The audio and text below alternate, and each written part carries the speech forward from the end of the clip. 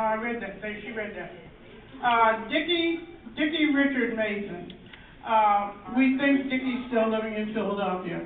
Dickie loved to laugh, therefore Henry always made a game of tickling him. He always smiled a lot. While attending Nether Providence High School, he was injured while playing football. Thus it ended.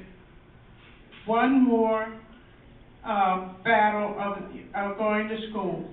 And he's living in Philadelphia as far as we know. Car- Carlotta Brummel Mason Lee She was called Billy.